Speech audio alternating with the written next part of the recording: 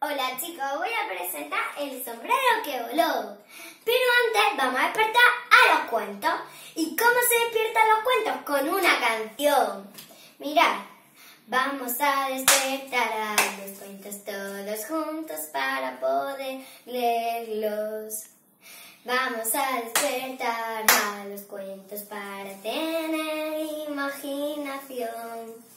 Bueno, el sombrero que voló sido escrito por José Carlos Ramán y, ha sido ilustrado por Mónica Carreta, Carretero.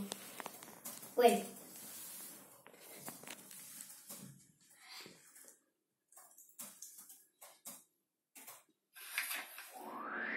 ¡Ay, no, no, no empeores! ¡Ah! Puedes dejar de gritar cariño, por No empeores. Joder, tío. ¿Por qué siempre se tiene que empeorar la vida? Bueno, vez una señora que se llamaba Filomena y iba muy elegante por la calle paseando con su sombrero. Y todos decían, ¡ay, qué elegante, Filomena! Le decían todos que era muy guapa.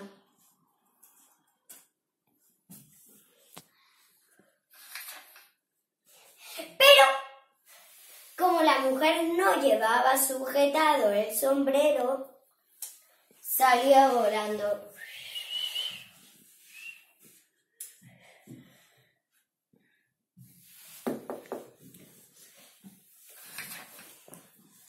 Y entonces cayó donde estaban unos ratoncitos. Y ahí los ratoncitos, en vez de vivir en un oscuro hoyo, se pusieron a vivir en el sombrero. Hicieron primero las camas de arriba y de segundo el salón y la cocina abajo. Pero...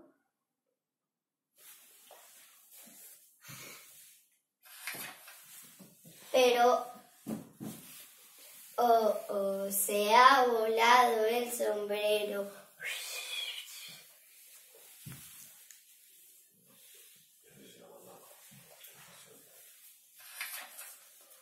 Y entonces lo sujetaron unas pulgas.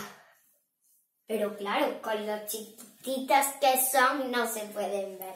Pero estas pulgas, estas pulgas, además de ser tan tan tan chiquititas, se montaron un circo. Había muchos tipos de acrobacias. Cogían pesas, eh, hacían el payaso. Y bueno, así fue. Pero me da mala idea.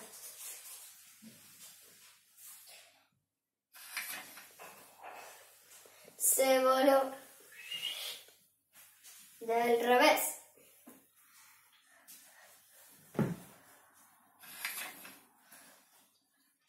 Entonces, en un estanque cayó el sombrero. ¡Cataplum! Y ahí estaban unas ranas que, que se posaron en él. Y ahí se sentaron y empezaron a coger con su lengua tan larga moscas y mosquitos y avispas. Pero a mí me daba mala idea. No creo que hayan tenido que hacer buena idea porque se voló.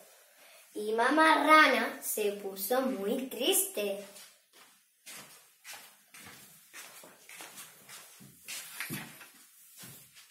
Y entonces cayó encima de un conejo blanco.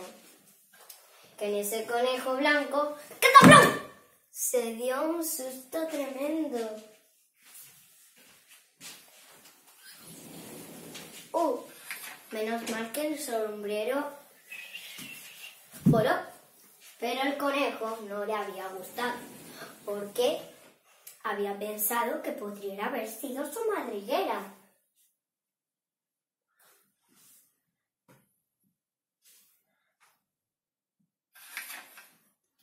Y entonces cayó en un pobre, en un pobre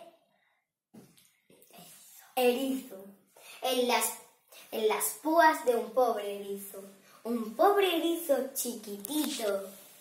Y su mamá, con mucha calmación, se lo quitó.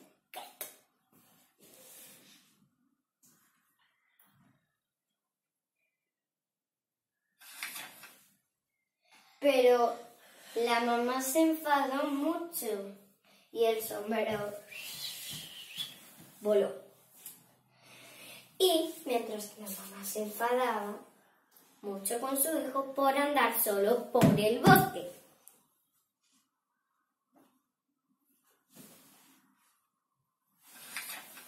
Pero entonces cayó en el Polo Norte, donde unas focas las cogieron, hicieron malabares como si fuera una pelota. Pero a mí no me venía ninguna buena idea, porque eso no era ninguna pelota, era un sombrero muy elegante.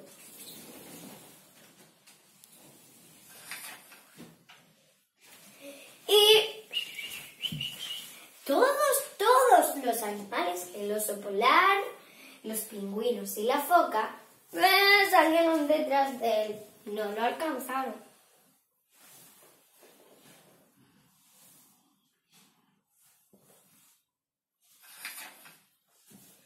Y entonces ya pudo regresar a su hogar.